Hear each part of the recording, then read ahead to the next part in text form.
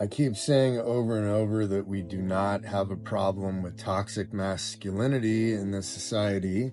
We have a problem with a lack of masculinity and testosterone deficiency. And here's something you might find interesting.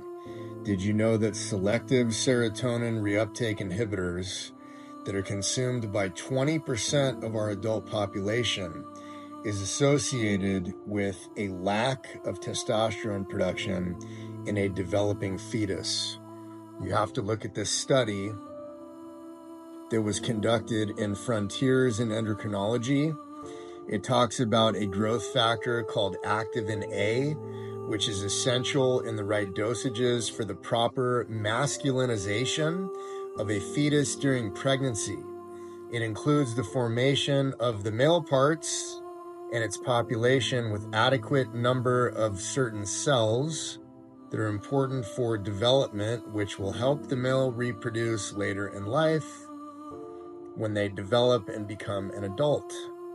Selective serotonin reuptake inhibitors prevent activin A from allowing the fetus to develop properly.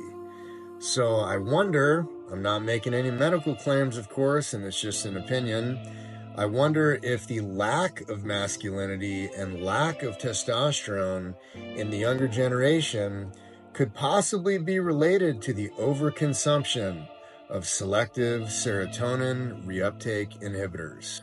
Let me know what you think. Have a good day.